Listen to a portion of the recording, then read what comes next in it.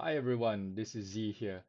Um, I just wanted to share that I put up a new article on my Medium page, and it's all about uh, the topic of customer segmentation uh, and using some machine learning type tools to make it a bit easier.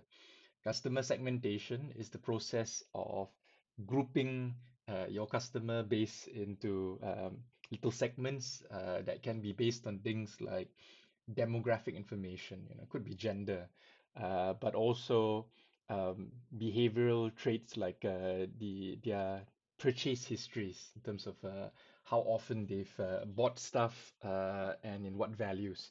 So in particular, um, the article will go through something called uh, RFM, which is uh, stands for recency, frequency, and monetary value, uh, which is a marketing type analysis that you use to to understand uh, how your customers behave. Uh, and it's all based around a publicly available data set uh, from a Brazilian e-commerce um, site that has uh, made it available um, for free.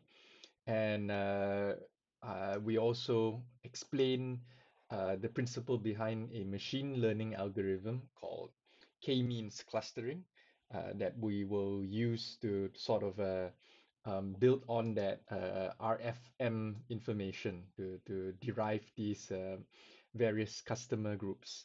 So um, the article is accompanied by a uh, notebook that is on Kaggle uh, that you can uh, fork and run yourself.